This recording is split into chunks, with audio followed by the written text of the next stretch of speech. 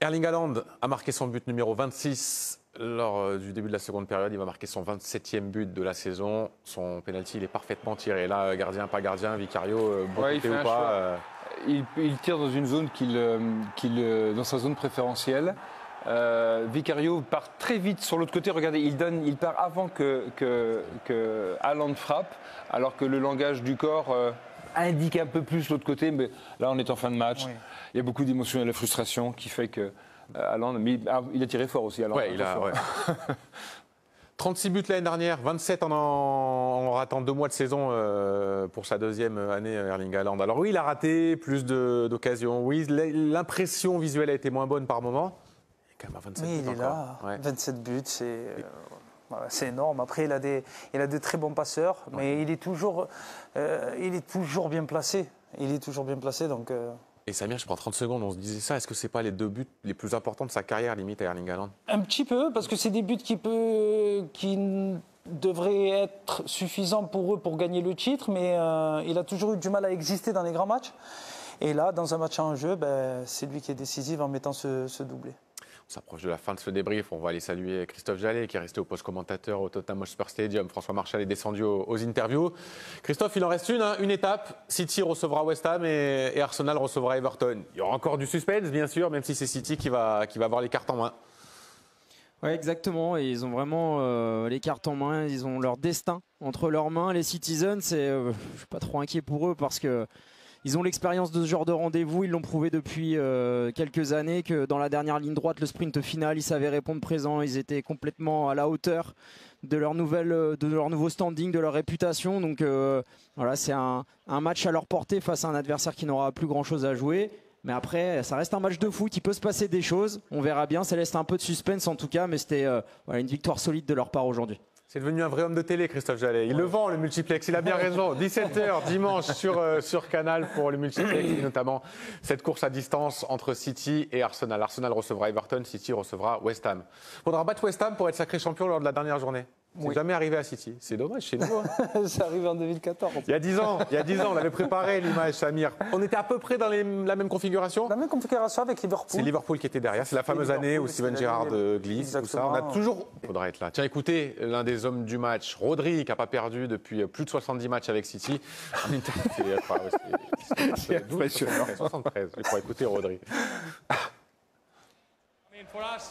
I mean, us, giving us the chance to fight again in the last last game. Ça nous donne une chance de nous battre lors du dernier match. But the effort we did it today was incredible. We showed the character of the team. Of course, it wasn't our best performance, but we came here to win. That's what we do. And the mentality of these guys, the substitution. I want to talk about today the substitutions. Uh, Stefan, they, he saved us. Jeremy was unbelievable. All the players that came in was exceptional. This talks about the team. Ouais, Il a parlé finir. du- il a parlé il a des parlé remplaçants, Stéphane de- Ortega et Jérémy Doku, du caractère de cette équipe. Ouais. Il a dit que ce n'est pas notre meilleure performance, mais on a montré beaucoup de caractère, beaucoup de force. Et il a mentionné Stéphane Ortega et, et Jérémy Doku, qui ont été décisifs euh, et pour l'un et pour l'autre euh, en cette fin de match. Ce que j'ai apprécié à, à City ce soir, c'est qu'à un moment donné, ils n'avaient pas les mêmes, la même envergure qu'ils ont eu tout au long du championnat dans un match à très fort enjeu, mais ils ont su se recroqueviller pour bien défendre quand même, même si euh, Ortega a sorti deux, deux interventions euh, Trois même, ouais. presque d'une autre planète, tellement il a été précieux, précis et, et parfaitement en, en contrôle. Mais City, euh, on, l'a vu sur la libéra- on, l'a- on les a vus sur la libération ouais. qu'ils ont manifestée sur le deuxième but. Il y avait du stress, chose à laquelle je ne pensais pas au début de match. Euh, ils se sont libérés et ça leur a donné beaucoup, beaucoup d'énergie pour bien défendre. On les a vus à un moment donné, on ne les voit pas souvent comme ça, Non, City, hein. non, non, non. groupés en bloc devant la surface. Euh, Presque groggy, comme presque- Ederson. Ouais, ouais, Comme tout à fait. Ederson. Mais, on voit qu'Ederson est marqué. marqué, hein. ouais. Il est marqué au niveau, au niveau visage. hein. Christophe Jallet, François Marchal, on reste avec vous sur ces images de joie et notamment euh, du double, dou- double buteur du soir Erling Haaland. Ça a dû être une atmosphère particulière ce moment où City était ballotté, le stade croyait à un retour de, Tottenham, mais c'est à la fin, c'est toujours City qui, qui s'en sort finalement. Oui, l'atmosphère a été euh, très étrange tout au long de la soirée. Les Citizens euh, sont en train de fêter cette victoire devant leurs supporters. Ortega le premier. C'est vrai que le public de Tottenham euh, n'a pas su quoi faire pendant toute, euh, toute la soirée. Euh, finalement, c'est au moment où, où City a commencé à gagner, ce qui faisait que bah, tout le monde était assez content ici, euh, que, que les chants euh, sont montés des, des tribunes. Voilà, il n'y a pas une grande déception, euh, je vous rassure, des, des supporters de Tottenham d'avoir perdu ce match ce soir. Allez voir célébrer. Vous nous dites en gros, Et François, ouais, que c'est tout le stade qui fête la victoire de, de City ce soir. Non, je ne vais pas aller jusque-là, mais enfin, euh, oui, il n'y a pas une grande déception des, des supporters de Tottenham. Certains étaient partis un peu plus tôt euh, après le, le deuxième but. Mais ceux qui fêtent euh, cette victoire le plus, évidemment, ce sont les supporters de, de City avec leurs joueurs. Et autant, et vous l'avez tous confirmé, les joueurs Tottenham ont joué le jeu à fond, autant, et pour confirmer ce que dit François, les supporters ce soir, ils vont pas rentrer trop, trop malheureux ce soir chez eux, même si cette défaite officiellement condamne Tottenham dans la course à la Ligue des Champions. Villa, et c'est l'une des infos parallèles de la soirée, est qualifié officiellement pour la Ligue des Champions. Fantastique job de la part d'Unai Emery, hein, quand même, de, de ramener cet effectif-là à une qualification en Ligue des Champions. Mais euh, je, suis- je suis surpris même des images de joie des, euh, des. Ah ouais, ouais. c'est une vraie libération et ça, ça veut dire à quel point ils ont souffert. Mais pour une fois, euh, Pep Guardiola a su renier en quelque sorte ses principes pour accepter de défendre un peu plus bas parce que, euh, voilà, vu l'importance de ce match-là, euh, ils ont réussi à faire les choses, ils ont été pragmatiques. Alors, j'aime pas trop le mot renier, parce que, même, si tu, même si tu le connais tellement bien, mais, mais je pense que quand on est, ouais, quand on est devant, une- on est à quelques encablures d'une accession à, à un xème titre, euh, je pense que le football aussi, dans le football. Normalement, on sacrifie tout, oui, On exactement. sacrifie un petit peu tout. Et, mais attention, ils ont eu des sorties de balles quand même. Oui, mais il faut apprécier aussi la performance de Tottenham qui s'est battu, enfin, qui s'est battu, et c'est normal, mais jusqu'au bout. Et avec ces deux ou trois occasions qui ont été flagrantes quand même pour, euh, pour les Spurs. On a quelques minutes, messieurs, pour revenir sur cette rencontre et notamment cette seconde période finalement, parce qu'on était ensemble à la mi-temps et c'était pas passé grand, grand chose de, de chaque côté. Ça va s'accélérer en début de seconde période avec une action qui, là, pour le coup, est typiquement City. Parfois, ils se sont reniés, notamment en fin de match, mais ce qu'ils vont faire. Bernardo Silva, Kevin De Bruyne et finalement Erling Haaland dans la conclusion, c'est euh, c'est typique. Combien ils en ont mis des buts comme ça, euh, Samir? C'est- C'est c'est du classique, c'est voilà, c'est d'essayer d'amener euh, une supériorité numérique euh, devant, d'avoir une ligne de 5 justement pour permettre à Kevin euh, de, Kevin de Bruyne de faire cet appel-là. Cet appel-là est toujours très difficile à défendre parce que les centraux, ils hésitent à, à aller couper. Et après, ben, on dit que Haaland met des tapines, mais il a fait, le, il a fait le petit sprint qu'il fallait pour se démarquer et se retrouver euh, à cet endroit. Alors peut-être que Christophe pourra intervenir sur Vicario.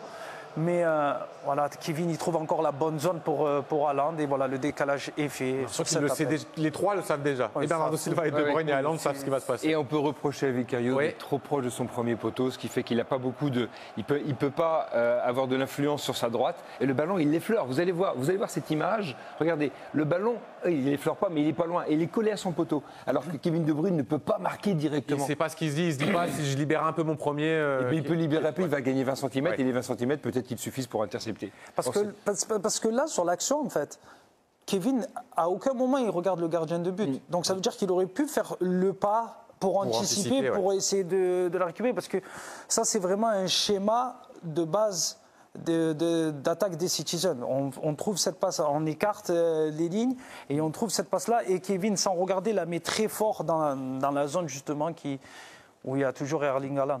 C'est la 112e passe décisive de sa carrière en première ligue. Il doit y en avoir Genre 45 mettre 60 euh, ou comme ça, 60 euh, ouais. comme ça, exactement pour, euh, pour Kevin De Bruyne. Il devient d'ailleurs seul deuxième meilleur passeur de la, de la première ligue. Il est à 50 tours ronds de Ryan Giggs. A priori, Ryan Giggs est, euh, est tranquille. Kevin De Bruyne qui est dans le top euh, 5, je crois, des meilleurs passeurs de la saison, alors qu'il a joué une demi-saison. D'ailleurs, c'est assez incroyable. Je crois que c'est sa 9e ou 10e. Je l'ai noté quelque part. Ke- Kevin De Bruyne qui en championnat est, est assez euh, formidable sur cette seconde partie de saison. Ensuite, 1-0 pour City. Et City va se mettre à reculer, à laisser venir Tottenham. Laisser- Peut-être par la force des choses. oui, par la- aussi. il y a ça aussi. Peut-être qu'il. Est-ce qu'à un moment, avant de voir l'histoire d'Ederson et de- d'Ortega Moreno, ils ont peut-être peut-être penser au chrono, penser aux conséquences, penser à se dire, voilà, il reste 30, 35 minutes.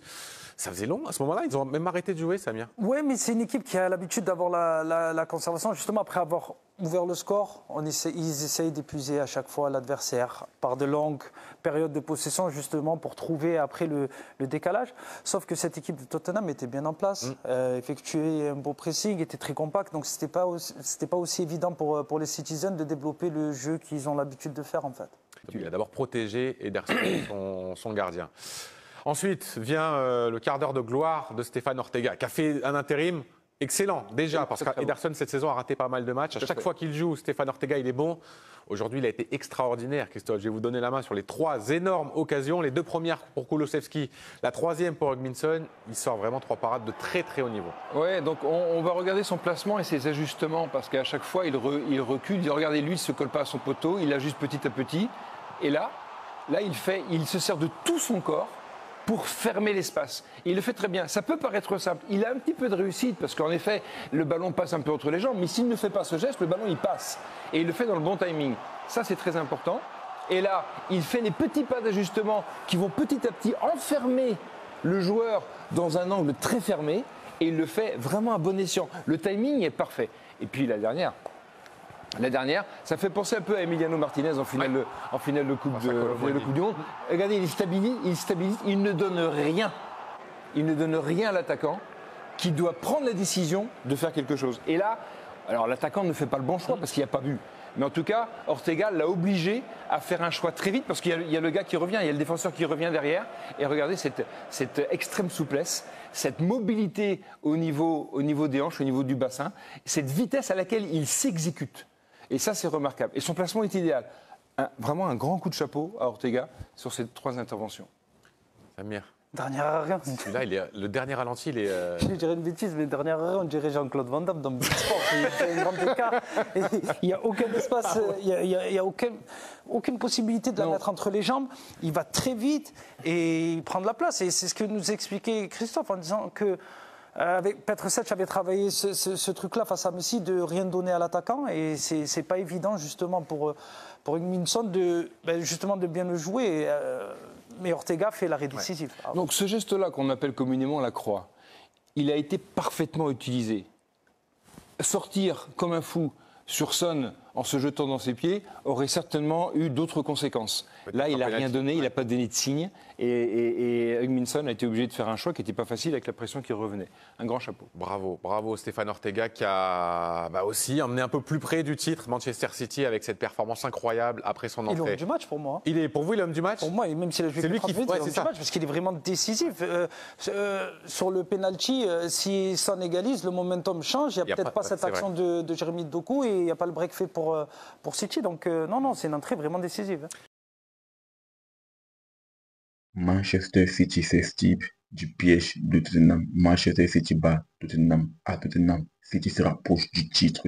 City est le nouveau patron de la Premier League. Salut à toi et bienvenue dans cette vidéo. Dans cette vidéo, on va parler de Manchester City. On va parler de la course au titre. Mais avant de commencer, si tu me découvres à travers cette vidéo, ici on parle de foot. Ici on est passionné par le foot. Le fou c'est notre passion. Donc, si tu es la thématique et surtout, si tu aimes sur le contenu, n'hésite pas à t'abonner, d'activer la cloche de pour ne rien manquer de prochaines vidéos. Si c'est fait, on est parti. Alors, Manchester City bat Tottenham 2 buts à Tottenham. Grosse performance. Quelle grosse performance, les amis. Manchester City, je rappelle, il n'avait jamais battu Tottenham à Tottenham. Jamais.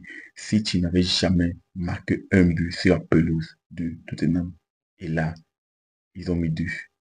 Ils ont marqué deux buts, les amis. Un double de Erling Haaland. Erling Haaland. Mais City, c'est le bon rail pour remporter le titre. Manchester City, dans ce match, ils ont galéré. Ils ont galéré, les amis. Dans ce match, Manchester City n'a pas la possession. City n'a pas la possession. City finit le match avec 47% de possession. 47% les amis. 47. Donc euh, ça montre à quel point Tottenham a vraiment dominé City. Tottenham c'est GT. GT les amis. Donc euh, si Emerson ne ratait pas ce but, ce match finissait match nul. Puisque une personne qui allume sa télé ou une personne qui voit seulement un résultat 2-0 en faveur de Manchester City, il va se dire c'était un long fleuve tranquille pour Manchester City, que City a déroulé sur Tottenham. Non, loin de là, loin de là. City n'a jamais déroulé sur Tottenham. City s'est fait bousculer. City s'est fait bousculer dans ce match. Edmison, il rate la balle de match. En fin de match, hein, il rate un face-à-face contre, contre Ortega. Ortega a fait une entrée vraiment fracassante. Ortega a fait une entrée fracassante. Ortega, pour ceux qui ne savent pas, c'est le gardien de Manchester City. Le deuxième gardien de Manchester City. Il a fait une rentrée fracassante. Fracassante, les amis. Il a été décisif au moins sur trois ballons. Trois occasions franches. Ortega. Il a vraiment été monstrueux. Ensuite, tu as l'entrée de Jérémy Doko. Ça a beaucoup fait du bien. Manchester City, là, c'est vraiment une équipe euh, qui est très fort dans le sprint final. Ils sont vraiment très très forts dans le sprint final. Ça lâche très peu de points. Ils sont à 8 victoires. 8 victoires d'affilée en Premier League. Ils sont à 8 victoires d'affilée. C'est vraiment énormissime. C'est énormissime. Avant le match, moi je ne croyais pas à une victoire de Manchester City. Puisque City n'avait jamais gagné sur ce stade. City n'avait jamais gagné sur le stade de Tottenham. Jamais de la vie. Je me suis dit, au pire des cas, ce sera le match nul. Et en première période, City a vraiment été bousculé. Certes, il y avait une position, mais ça manquait d'occasion. En seconde période, Kevin De Bruyne délivre un caviar à Elian À la 51e minute, Alan marque une nouvelle score, ça fait 1-0 pour City. Et à la fin du match, Jérémy Decour court ce penalty. C'est une superbe action, les amis. Jérémy Decour, je le trouve vraiment, il monte en puissance. Il monte vraiment en puissance. Les rentrants de Manchester City ont fait la différence. Hein. Que ce soit Doku ou alors Ortega, ils ont vraiment fait la différence. Et sans ces entrants, je ne pense pas que Manchester City devait gagner le match. Résultat de course, City a 88 points. 88 points, les amis. Avec 88 points, normalement, tu es champion. Mais, comme la Premier League, c'est un championnat très compétitif. Arsenal risque d'avoir plus de 88 points, mais ils ne seront pas champions. Si Arsenal gagne son match contre Everton, ils vont finir avec 89 points. Mais malheureusement, ils ne seront pas champions. C'est dommage. C'est vraiment dommage, les amis. Donc, euh, dernière journée, ce sera Manchester City contre West Ham et Arsenal va jouer Everton. Si City gagne son match contre West Ham, peu importe le résultat d'Arsenal, City sera champion. City sera champion et ça sera le quatrième titre d'affilée. Quatrième titre consécutif. C'est vraiment une très grosse performance chapeau avec Guardiola. Après, partage-moi ton ressenti en commentaire. Est-ce que tu penses que Manchester City sera champion du moto et ce n'est pas encore fait? N'hésite pas à t'abonner et d'activer la cloche de notification pour ne rien manquer les prochaines vidéos qui vont arriver sur la chaîne. Ce sont déjà très bientôt pour notre vidéo les amis. Ciao, ciao.